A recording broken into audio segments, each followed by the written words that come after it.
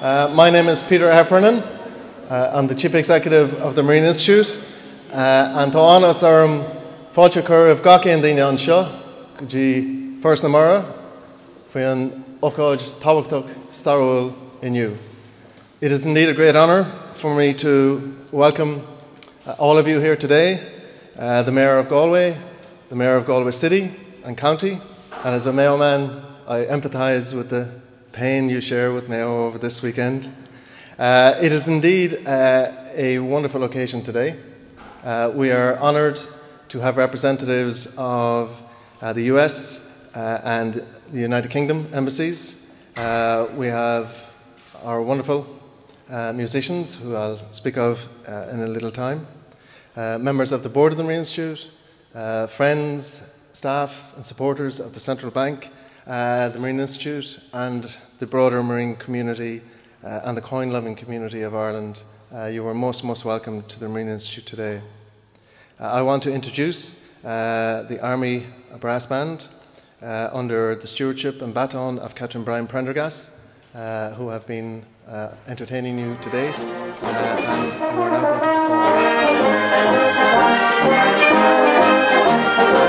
to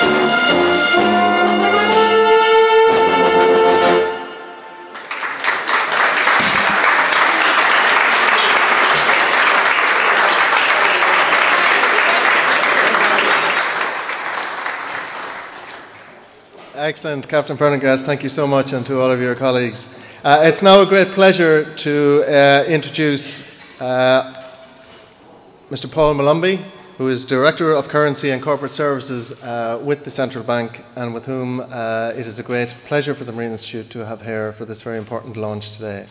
Paul.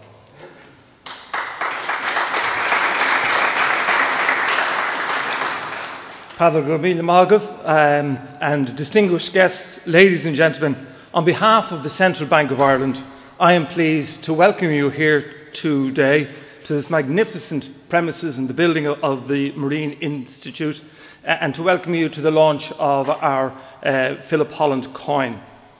Um, the coin is a 15 euro silver proof coin that honours John Philip Holland the Irish inventor of the modern submarine. It is the first coin of a new multi year series of coins that the bank will issue to honour Ireland's impressive scientific and technological tradition. Holland was born in Liscannor, County Clare, in 1941, and this year we mark the centenary of his death, which was in Newark, New Jersey, in August 1914. Holland's life was extraordinary, and some of the posters here that have been provided to us, and indeed many of you will know a lot more about Holland than I do. But I do recommend you read the posters or talk to some of the people who have been involved in researching him. During his time, he was a member of the Christian Brothers Order.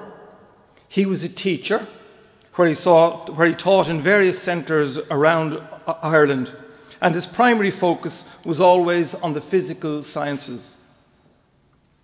Following a time with the Christian Brothers, he emigrated to the United States, where he continued to teach the sciences and he developed technologies to further the concepts for the evolution of the submarine. The result was that the first submarines commissioned by both the US Navy and the Royal Navy were based on the designs of John Philip Holland.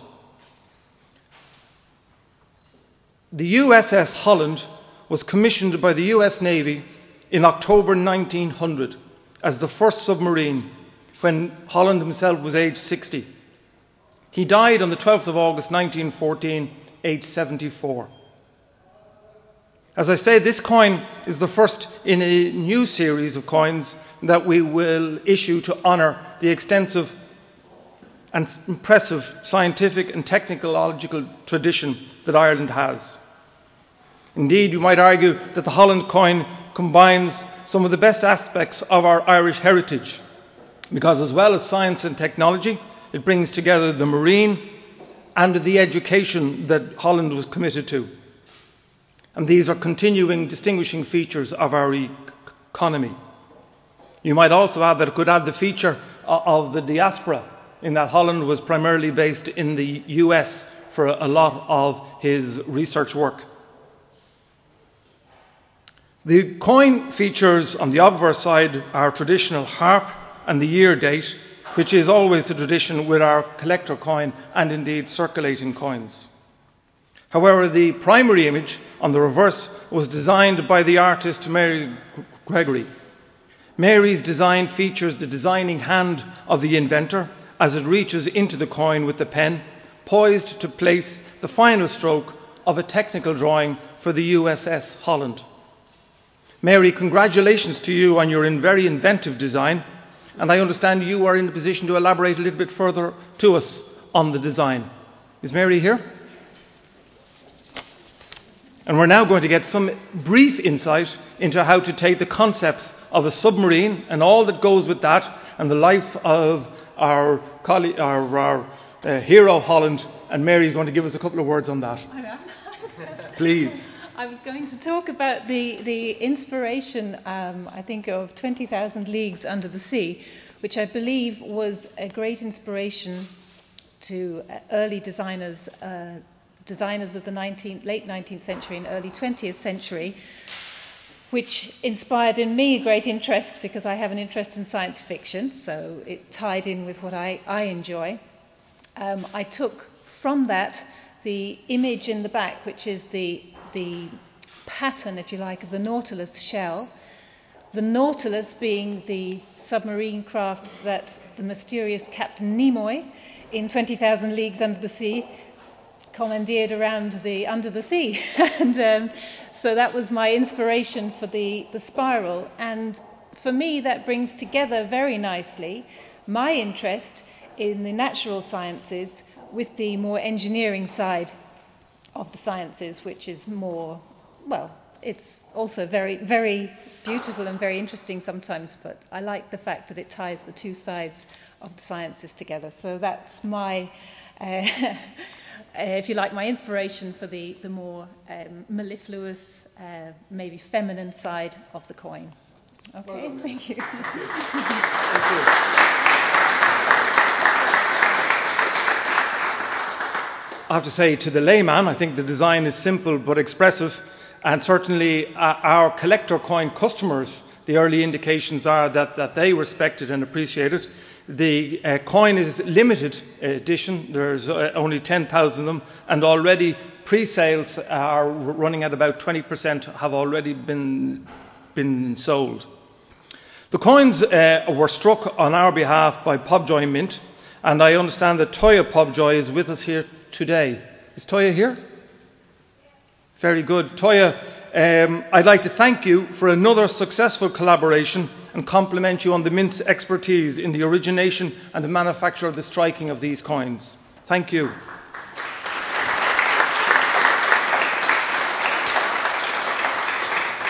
We also have here today guests that reflect the variety and the extent of John Holland's life. And in no particular order, I do note that the uh, mayors of Cork, Galway, both city and county, and Drogheda are here. Uh, the Liscannor Committee, who unveiled a statue at the weekend to Holland, is here also. We have um, the Deputy Head of uh, Mission at the British Embassy, Neil Holland, no relation, I understand. Lieutenant uh, Sean from the US Embassy Defence Attaché is, is here also. Members of the British Legion are, are, are here, and we're really grateful for the support and the interest that we have received in this um, endeavours. We have a number of people to thank for their help in the organisation of this event. Um, Peter, to you and your staff, and to Helen, uh, who have supported us uh, through uh, making this launch possible. We very much appreciate that. And indeed, the marine research vehicle, uh, which uh, the Institute have put on display outside, has been named after Holland. And I do encourage you to have a look at this and to un understand uh, it, the contribution it has made to marine advancement. Um, also to the band from Collins Barracks uh, for the beautiful music that we've already heard. Um, there'll be a competition afterwards to name. And I got the Rod Stewart one. I'll ask someone else to get the, the, the, the other ones. Um, but Captain Brian Prendergast and, and, and your, your um, colleagues, we very much appreciate it. Um, in addition to uh, both supporting us here today, I do want to acknowledge, and Captain Brian will be aware, that his colleagues in Cathal Brugha Barracks um, support other aspects of the work of the central bank, and we're very grateful for the continuous uh, uh, support and service we get from the Defence Forces. Special mention must also be made to Mr. Tony Duggan. Tony has worked tirelessly to make this event the success it is. Uh, he's a retired uh, schoolmaster from uh, the Christian Brothers in Cork, and he is a, a Holland historian and he has helped the central bank uh, understand more about Holland uh, and the contribution and to allow us educate um, our customers in the work that has taken place on his uh, science and technology uh, endeavours. Um, Tony, I'm, I'm, a little jibe at you, but I, I, believe that you have been such a help to our collector coin unit then you've built up such a rapport with them. We're going to miss you badly uh, as we move on to other coins now. Mind you, the Holland coin is not the only notable event for the central bank in the currency area this, this year. As Peter introduced me, I'm the Director of Currency in the bank, uh, and we're pleased to announce that a new 10 euro banknote will be issued on the 23rd of September. This, like all the other central banks in the euro system, it is the second banknote to be released as part of the Europa series. And this series of banknotes offers enhanced security features and durability and will circulate in parallel with the first series of tenors.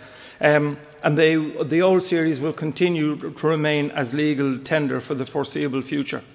So, since la early last year, my colleagues at the bank have been actively engaged with businesses to emphasise the importance of being ready for a new 10 euro note. In July, we've held a seminar we aim to promote the various supports available to businesses Online training and familiarisation is available as well. It is imperative that businesses ensure that they are ready for the 10 euro note, and by training their staff and updating their machines, they will be able to support all of us as consumers as we take the steps to, in, to have two forms of the 10 euro note in circulation. I now wish to, uh, I, I, suppose, before we conclude the formal part uh, of, of the launch, I have the pleasure of presenting um, some unique aspects of these coins to some of our dignitaries. But it, by no apology that I want to take the very first coin. Every one of these coins is uniquely numbered in a presentation case with some credit from the central bank. But the number one coin, i.e., the first one minted, I'd now like to present to Peter, to, to the in Institute, and to thank them for the support that they have given us here. So, Peter.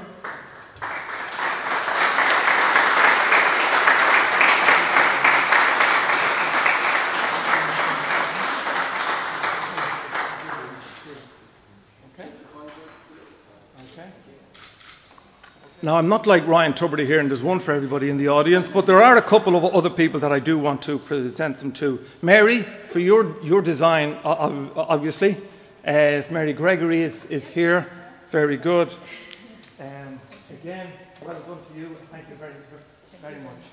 Okay.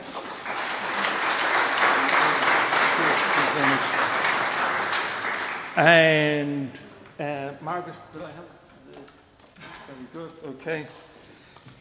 Um, our colleagues uh, in the central bank, uh, in, in the office of the collector coin, in particular, wanted me to present this to Tony Duggan because Tony has been such a support to us in un, un, understanding the matters of Philip Holland. Is Tony here, please?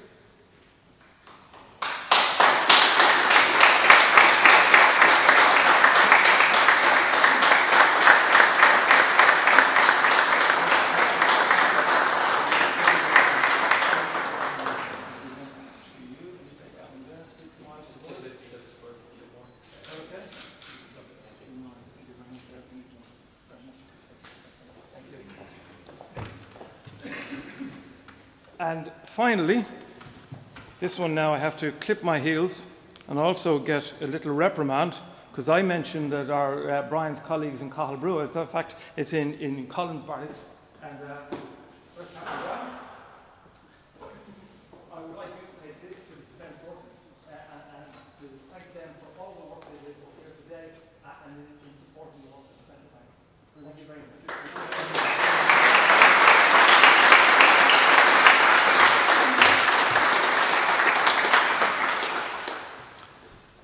Um, I suppose I should get a little plug in here as well. By the way, the coins go on sale from the, to the public tomorrow. As I said, there are a limited uh, number of coin sets uh, available. Uh, there are some on sale here today, I understand, after the uh, event. Um, finally, if you would just indulge me for one moment, I wish to thank especially, uh, and you'll understand, my colleagues in the central bank. Um, from where I sit, I don't see the daily endeavours that go on, but I know that they organise a very uh, energetic numismatic committee who give of their time voluntary to us. Um, we have a design, design, selection committee who also give of their time to us, uh, and, and, a small team uh, in the central bank pull all this t- together. They know, who, they know who they are, and personally and on behalf of the Commission, I thank them for their endeavours also. Um,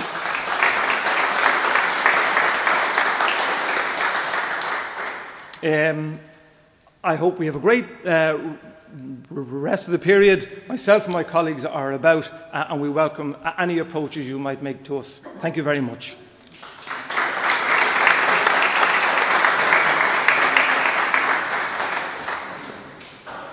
Thank you, Paul. And as we approach the end of the uh, formal proceedings, uh, may I just, uh, on behalf of our chairman, John Killeen, uh, and the Institute, again, uh, thank you very warmly for your presence today. To Mary, I want to share with you the co inspiration of the Nautilus design. The very spot in this building you are standing and the crescent shape uh, to my left uh, is, shares the same inspiration and also the inspiration of a wave in the ocean. You drop a pebble in the ocean, in water, and there's a wave. To us, that's a wave of knowledge, the creation of knowledge to enable Ireland to unlock the potential of our largest national natural resource, our maritime territories, 10 times our island size. And the co inspiration of honouring the achievements of our forebears like John Holland, an engineering, scientific innovator uh, of the previous century whose work uh, and legacy lives on. The Marine Institute honoured his legacy in naming Ireland's first national unmanned submarine on display outside our front door, Holland 1. This unmanned submarine has been involved in honouring that tradition by being involved in very significant scientific discoveries in recent years, including, and we hear of a volcanic activity in Iceland that we worry about it might impact our air travel. Most of this planet's volcanic activity takes place in the sea. And Holland 1 was involved in mapping and discovering one of the largest such areas of activity in the middle of the Atlantic, halfway between this site and the USA, and halfway between Iceland and the Azores, less than three years ago, and mapped that whole activity. It has also been involved in the last two summers in mapping and discovering some of the most unique biological animal communities that exist under the ocean on the very deep canyons of the southwest Cork and Kerry coasts. It is also very involved in climate change studies and in developing the next generation of sensor technologies uh, that will be critical to Ireland achieving the potential of our marine resources. So I hope, John Holland, wherever you are today, you feel we are honouring you adequately. And now it only remains for me to introduce our final music pieces and then to invite you to join us uh, for light refreshments. Uh, it is a great pleasure to uh, invite Eilish Blake uh, to take uh, the podium, and I believe she's going to give us a rendition of the John Holland ballad, and to then be followed by Captain Prendergast and his colleagues for a few final melodies. Thank you all again. Eilish.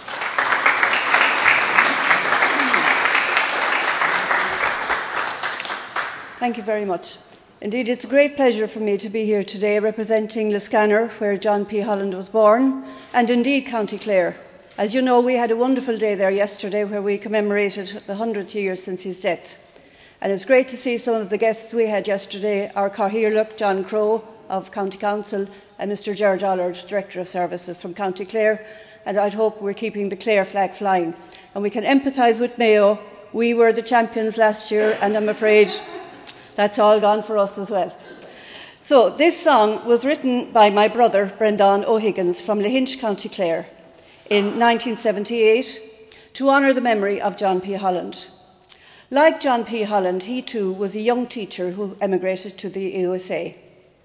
He gave this song to the late, great Michael Russell, traditional Irish musician of Doolin, who recorded it and on one of his albums causing it to be sung far and wide, thus perpetuating the story of John P. Holland for all of us. And it is my pleasure now to sing it for you today.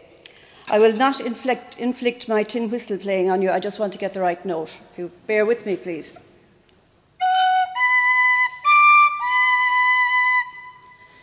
You may talk of famous Irishmen who walked upon the land. Their feats, their deeds, their various creeds, you well might understand. There's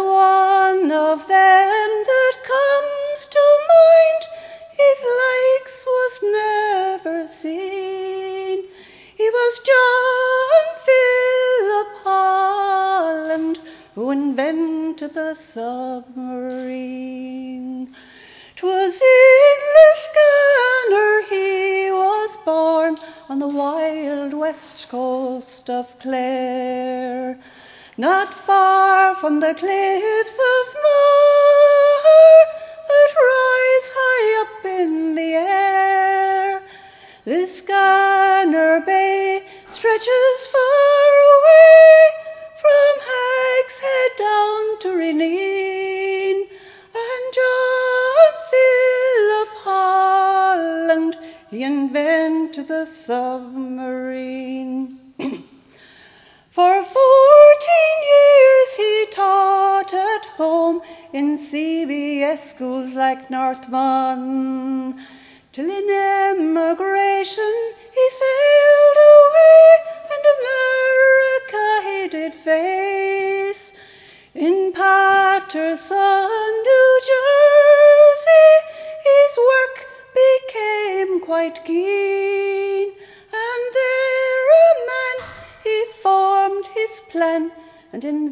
invented the submarine.